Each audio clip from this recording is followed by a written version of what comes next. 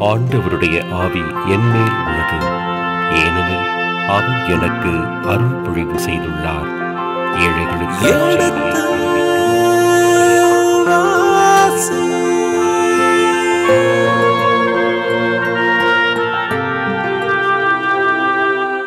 எடுத்த வாசி. அன்பிற்கினிய மாதா தொலைக்காட்சி நேயர்களே உங்கள் அனைவருக்கும் வணக்கம். எண்ணிக்கை நூலினுடைய தெளிவான விளக்கங்களை அருத்தந்தை அவர்கள் நமக்கு கொடுத்து கொண்டிருக்கிறார்கள். நேற்று நாம் பார்த்த அதிகாரங்களுடைய விளக்கத்தை இன்று தொடர்ந்து பார்ப்போம். அதற்கு அருத்தந்தை அவர்களை வரவேற்போம். வணக்கம் தந்தையே.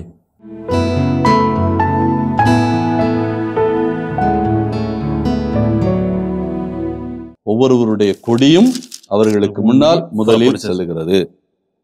மல்லிகை கொடியை அதே மாதிரி ஷெக்கேம் நகர கொடியை அதே மாதிரி லேவியர்கள் ஊரின் தும்மிம் கொடியை யூதா சிங்கத்தின் கொடியை தான் பாம்பின் கொடியை நப்தலி பெண்மானின் கொடியை காத் அந்த அரணாக இருக்கின்ற அவனுடைய படை படையினுடைய அரணை கொடியாக கொண்டு ஆஷேர் ஒலிவ மரத்தை கொடியாக.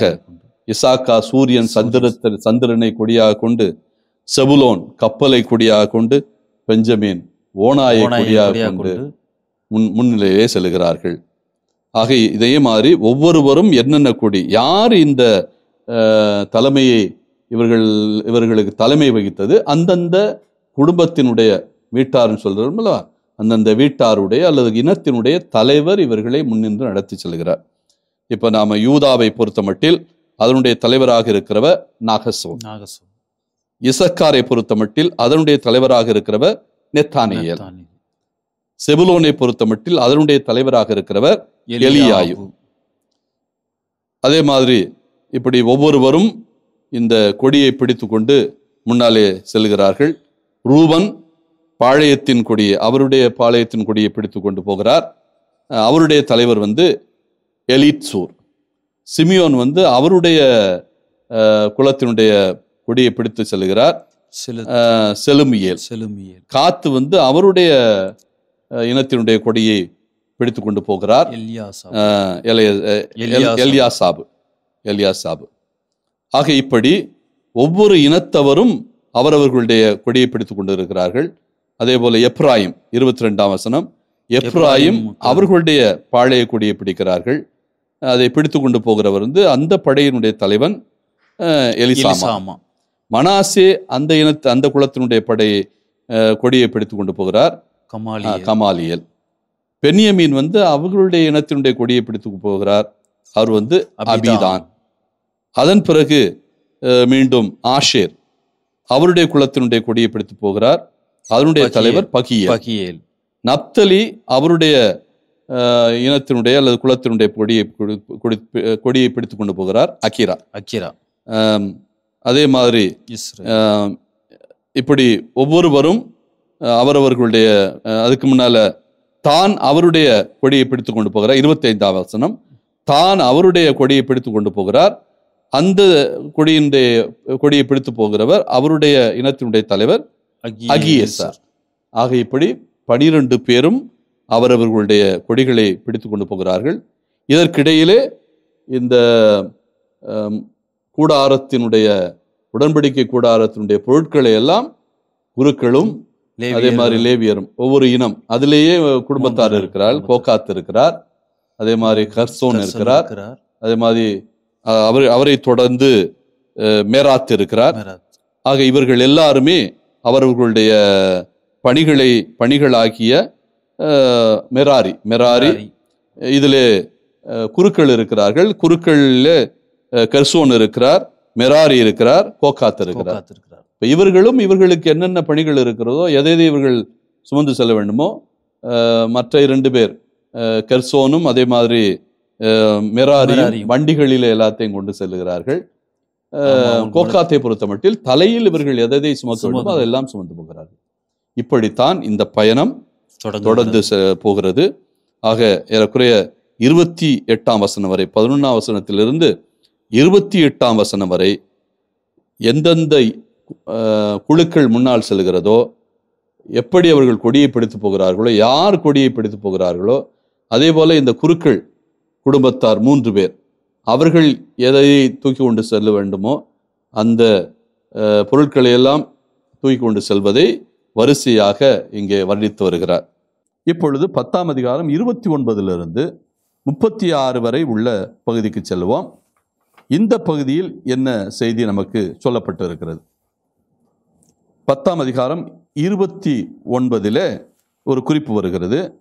மீதியானியனும் தன் மாமனுமாகிய ரகுவேலின் மகன் கோபாவிடம். மோசே கூறுகிறது. வேற யாரும் கூப்பிடல. மோசையை அழைக்கிறார். தன்னுடைய மைத்துனர். அவர் பெயர் வந்து கோபாபு. கோபாபு. கோபாபுவை அழைத்து நீர் என்னோடு இருந்தால் நல்லது. எனவே நீர் வாரும் என்னோடு கூட என்று ஒரு அழைப்பு விடுகிறார் ஆனால் கோபாபு சொல்லுகிறார் உம்முடைய இனம் வேறு என்னுடைய இனம் வேறு. என்னுடைய பகுதி வேறு உன்னுடைய பகுதி வேறு. நான் மீதியானன் நீ வந்து இஸ்ராயேலன். எனவே நான் மீதியாவுக்கு மீதி மீதியானுக்கு போகிறேன். அங்கு நான் தங்கிக் கொள்கிறேன். என் இனத்தவரிடத்தில் நான் போய்க் கொள்கிறேன் என்று சொல்கிறான் ஆனால் இஸ்ராயலரும் அதே போல மோசையும் மிக தெளிவாக சொல்லுகிறார்கள். நீ எங்களை விட்டு எங்களை இருக்கும்படி உன்னை வேண்டிக் கொள்கிறேன்.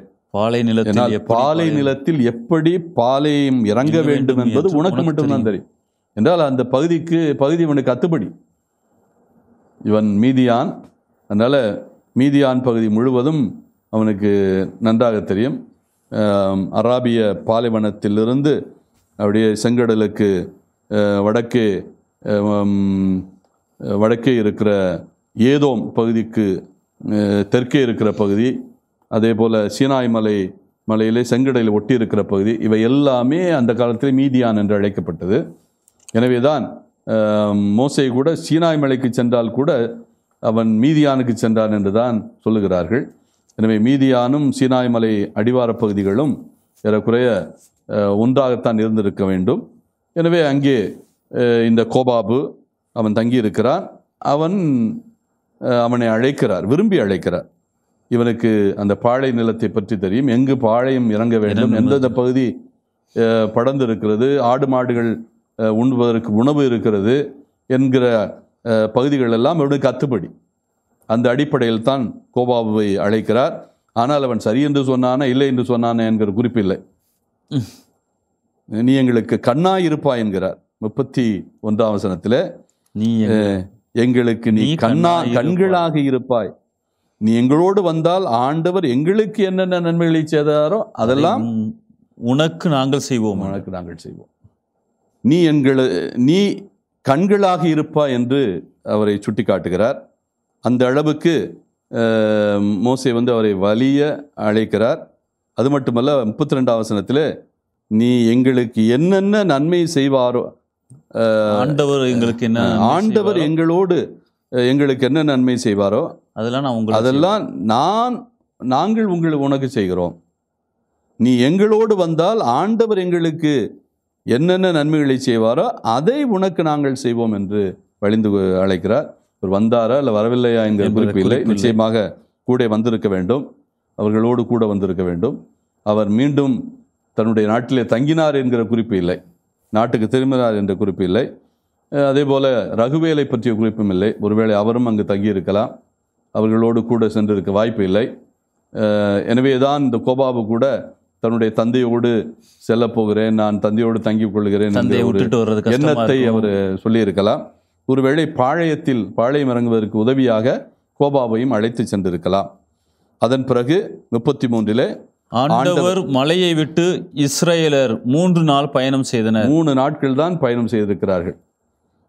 அவர்கள் அடுத்து தங்குமிடத்தை காட்டும்படி ஆண்டவரின் உடன்படிக்கை பேழை மூன்று நாள் பயணத்திலும் அவர்கள் முன் சென்றது. அவர்களுக்கு முன்னால் செல்கிறது. அவர்கள் பாளையத்திலிருந்து புறப்பட்ட போதெல்லாம் ஆண்டவரின் மேகம் பகலில் அவர்கள் மேல் இருந்தது.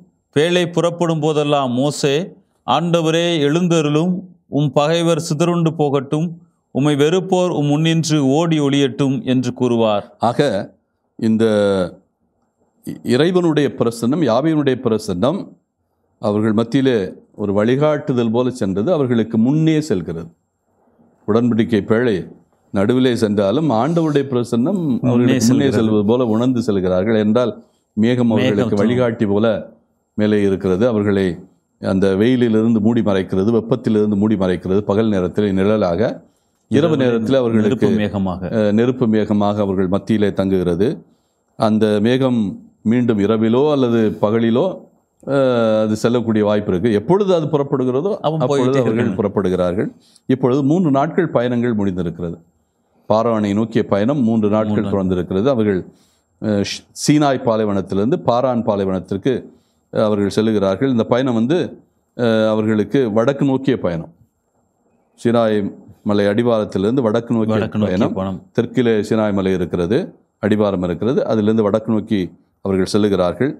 அப்படி செல்லுகிற போது புறப்படுகின்ற போதும் மீண்டும் தங்குகின்ற போதும் அவர்களுக்கு தங்கல் நேரங்களிலும் புறப்படுகின்ற நேரத்திலும் மோசே இறைவனை நோக்கி இறைவேண்டல் செய்கிறார். ஒரு அருமையான ஒரு பாடம் நமக்கு. புறப்படுகின்ற போதும் பயணத்திற்கு புறப்படுகின்ற போதும் பயணத்தை முடித்த பிறகும் மோசையினுடைய இறைவேண்டல். ஆண்டவரே எழுந்தருளும் பகைவர் சிதறுண்டு போகட்டும். உம்மை வெறுப்போர் உம் முன்னின்று ஓடி ஒழியட்டும் அதாவது ஆண்டவரே முன்னால போறாரு. அதனால உம்முடைய பகைவர் சிதறுண்டு போகட்டும். உம்ம உமக்கு முன்னால் ஓடி ஒழியட்டும் அப்படிங்கிறார். அதாவது இஸ்ராயேல் மக்கள் போகவில்லை. யார் தான் போகிறார்? யாவே யாவே தேவன். போகிறார். அதனால் யாவையை பார்க்கிற போது அவருடைய பகைவர்கள் எல்லாம் ஓடி ஒழியட்டும் யாரும் அவருக்கு முன்னால் வந்து நிற்கக்கூடாது. அவருடைய முன்னால் ஓடி ஒழியட்டும் என்று சொல்லுகிறார். இப்போ எந்த விதத்திலும் எதிரிகளுடைய தாக்குதல் தங்களுக்கு நேரக்கூடாது என்கிற ஒரு ஜபம்தான் ஒரு இறைவேண்டல் தான் இது. எதிரியுடைய தாக்குதலும் அல்லது பகைவர்களுடைய தாக்குதலும் செல்லுகின்ற மக்களுக்கு இருக்கக்கூடாது என்கிற ஒரு உள்ள உள்ள உள்ளத்திலிருந்து ஒரு ஆவல் அவருக்கு இந்த இறைவேண்டலாக வெளிவருகிறது. முடிக்கிற போதும் முப்பத்தி ஆறாம் வசனத்தில் தங்கும் போதோ ஆண்டவரே பல்லாயிரவரான இஸ்ராயேலிடம் திரும்பும். பல்லாயிரக்கணக்கான இஸ்ரேல் மக்கள் இதோ மத்தியில் இருக்கிறார்கள். அவர்களை நோக்கி நீ திரும்பி வாரும் என்கிற ஒரு இறைவன்றலோடு இங்கே முடிக்கிறார். எதை தொடங்கினாலும் முடிச்சாலும் ஒரு இறைவேண்டல். ஒரு இறைவனுடைய வழியை நம்பி அவருடைய வழித்துணையை நம்பி நாங்கள் செல்லுகிறோம். எனவே இறைவனை வேண்டுகிறோம். அவருடைய வழித்துணை எங்களுக்கு வந்திருக்கிறது. தொடர்ந்து அது எங்களோடு தங்க வேண்டும் என்கிற அந்த வேண்டலோடு முடிவு. முடிவு செய்கிறார். ஒரு அருமையான நமக்கு பாடம். நாம் பயணம் செய்கின்ற போதும் பயணத்தை முடிக்கின்ற போதும் எந்த மனநிலையில் இந்த பயணம் இருக்க வேண்டும்? அது நீண்ட பயணமாக இருந்தாலும் சரி அல்லது குறுகிய பயணமாக இருந்தாலும் சரி. யாரை நம்பி யாருடைய துணையில் இந்த பயணம் இருக்க வேண்டும் என்பதற்கு ஒரு இலக்கணம் போல இந்த இறைவேண்டல் அமைகிறது. நன்றி தந்தையே. அன்பிற்கினிய நேயர்களே இதுவரை பத்தாம் அதிகாரத்திற்கான தெளிவான விளக்கங்களை அருத்தந்தையவர்கள் கொடுத்திருக்கிறார்கள். இனி பத்தாவது அதிகாரத்திற்கான வசனங்கள் ஒவ்வொன்றாக வாசிக்க அவற்றிற்கு நாம் செவி கொடுப்போம். எண்ணிக்கை. அதிகாரம் பத்து. ஆண்டவர் மோசேயிடம் கூறியது இரண்டு வெள்ளி எக்காளங்களை செய்து கொள் அடிப்பு வேலையாக அவற்றை செய்ய வேண்டும். மக்கள் கூட்டமைப்பை ஒன்று கூட்டவும் பாளையத்தை பெயர்க்கவும் நீ அவற்றை பயன்படுத்துவாய். அவை இரண்டும் ஊதப்படும்போது மக்கள் கூட்டமைப்பு முழுவதும் சந்திப்பு கூடார வாயிலில் உன் முன்னே ஒன்று கூட வேண்டும். ஆனால் ஒன்றை மட்டும் ஓதினால் இஸ்ரேலின் ஆயிரத்தவர் தலைவர்களாகிய முதல்வர்கள் உன்னிடத்தில் கூடி வருவார்கள். நீ பெருந்தொனியாய் ஊதுகையில் கீழ்ப்புற பாளையங்கள் புறப்படும். அத்துடன் இரண்டாம் முறை நீ பெருந்தொனியாய் ஊதுகையில் தென்புற பாளையங்கள் புறப்படும். அவர்கள் புறப்படும் போதெல்லாம் பெருந்தொனியாய் ஊத வேண்டும். சபையை ஒன்று கூட்ட நீ ஊதும்போது பெருந்தொனி எழுப்பக்கூடாது. ஆரோனின் புதல்வரான குருக்கள் எக்காளங்களை ஊத வேண்டும். எக்காளங்கள் உங்கள் தலைமுறை தோறும் நிலையான நியமமாக இருக்கும். உங்கள் நாட்டில் உங்களை ஒடுக்குகிற பகைவருக்கு எதிராக போருக்குச் செல்கையில் எக்காளங்களால் பெருந்தொனி எழுப்புங்கள். அப்போது கடவுளாகிய ஆண்டவர் திருமுன் நீங்கள் நினைவு கூறப்பட்டு பகைவரிடமிருந்து விடுவிக்கப்படுவீர்கள்.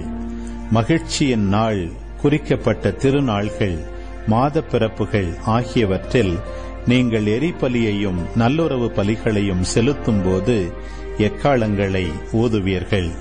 அவை கடவுள் திருமுன் உங்களுக்கு நினைவூட்டுதலாக பயன்படும். நானே உங்கள் கடவுளாகிய ஆண்டவர்.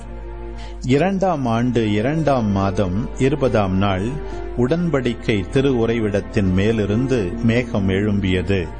இஸ்ரேல் மக்கள் சீனாய் பாலை நிலத்திலிருந்து பகுதி பகுதியாக கடந்து சென்றனர். பாரான் பாலை நிலத்தில் மேகம் தங்கிற்று. மோசே வழி வந்த கடவுளின் கட்டளைப்படி இப்பொழுது முதன்முறையாக அவர்கள் புறப்பட்டனர். யூதா மக்களது பாளையத்தின் கொடி அவர்களைச் சேர்ந்த கூட்டத்தவரோடு முதலில் புறப்பட்டது. அவர்கள் படைத்தலைவன் அம்மினதாவின் மகன் நகசோன். இசக்கார் மக்கள் குலத்தின் படைத்தலைவன் சூவாரின் மகன் நெத்தனியேல். செபுலோன் மக்கள் குலத்தின் படைத்தலைவன் கேலோனின் மகன் எலியாபு. மேலும் திரு உறைவிடம் இறக்கி வைக்கப்பட்டதும் கேர்சோனின் புதல்வரும் மெராரியின் புதல்வரும் அதை சுமந்து கொண்டு புறப்பட்டனர். அடுத்து ரூபன் பாளையத்தின் கொடி அவர்களைச் சேர்ந்த கூட்டத்தவரோடு புறப்பட்டது. அவர்கள் படைத்தலைவன் செதேர் மகன் எலிட்சோர். சிமியோன் மக்கள் குலத்தின் படைத்தலைவன் சுரிசத்தாயின் மகன் செலுமியேல். காத்து மக்கள் குலத்தின் படைத்தலைவன் தெகுவேலின் மகன் எல்யாசாபு. பின்னர் கோகாத்தியர் தூய பொருள்களை சுமந்து கொண்டு புறப்பட்டனர். அவர்கள் போய் சேரும் முன் திருவுறைவிடம் எழுப்பப்பட்டிருந்தது.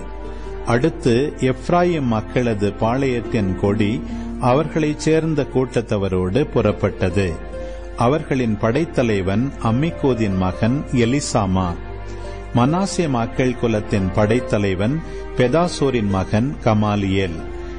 பென்யமின் மக்கள் குலத்தின் படைத்தலைவன் கிதையோனியின் மகன் அபீதான். அனைத்து பாளையங்களுக்கும் பின் காவலாக தான் மக்களது பாளையத்தின் கொடி அவர்களைச் சேர்ந்த கூட்டத்தவரோடு புறப்பட்டது. அவர்களின் படைத்தலைவன் அம்மிசத்தாயின் மகன் அகியேசர். ஆசியர் மக்கள் குலத்தின் படைத்தலைவன் ஒக்ரானின் மகன் பகியேல். நப்தலி மக்கள் குலத்தின் படைத்தலைவன் ஏனானின் மகன் அகிரா. இஸ்ரேல் மக்கள் புறப்படுகையில் அவர்கள் படைகளின் அணிவரிசை இதுவே. பின்னர் மோசே மீதியானியனும் தன் மாமனுமாகிய ரகுவேலின் மகன் கோபாவிடம் கூறியது. உங்களுக்கு தருவேன் என்று ஆண்டவர் கூறிய இடத்திற்கு நாங்கள் போய்க் கொண்டிருக்கிறோம் நீ எங்களோடு வா நாங்கள் உனக்கு நல்லது செய்வோம். ஆண்டவர் இஸ்ரேலுக்கு நல்லதையே வாக்களித்துள்ளார். அவனோ அவரிடம் நான் வரமாட்டேன். நான் என் சொந்த நாட்டுக்கு என் இனத்தவரிடம் போவேன் என்றான். அதற்கு அவர் எங்களை விட்டு போகாதிருக்கும்படி உன்னை வேண்டிக் கொள்கிறேன். பாலை நிலத்தில் எப்படி பாளையம் இறங்க வேண்டும் என்று உனக்கு தெரியும். எங்களுக்கு நீ கண்களாயிருப்பாய். நீ எங்களோடு வந்தால் ஆண்டவர் எங்களுக்கு என்னென்ன நன்மை செய்வாரோ அதை உனக்கும் நாங்கள் செய்வோம் என்றார். ஆண்டவர் மலையை விட்டு இஸ்ராயேலர் மூன்று நாள் பயணம் செய்தனர். அவர்கள் அடுத்து தங்குமிடத்தை காட்டும்படி ஆண்டவரின் உடன்படிக்கை பேழை மூன்று நாள் பயணத்திலும் அவர்கள் முன் சென்றது. அவர்கள் பாளையத்திலிருந்து புறப்பட்ட போதெல்லாம் ஆண்டவரின் மேகம் பகலில் அவர்கள் மேல் இருந்தது. பேழை புறப்படும் போதெல்லாம் மோசே ஆண்டவரே எழுந்தருளும். உம் பகைவர் சிதறுண்டு போகட்டும். உம்மை வெறுப்போர் உம் முன் நின்று ஓடி ஒளியட்டும் என்று கூறுவார். அது தங்கும்போதோ அவர் ஆண்டவரே பல்லாயிரவரான இஸ்ரேலிடம் திரும்பும் என்பார். அன்பிற்கினிய மாதா தொலைக்காட்சி நேயர்களே எண்ணிக்கை நூலிற்கான தெளிவான விளக்கங்களையும் அதனுடைய ஆழமான அர்த்தங்களையும் நாம் அன்றன்றாட வாழ்விற்கு பயன்படும் வகையிலே நமக்கு அருத்தந்தை அவர்கள் எடுத்து கூறி கொண்டிருக்கிறார்கள். இதனுடைய தொடர்ச்சியை மீண்டும் நாளை பார்ப்போம். நன்றி வணக்கம்.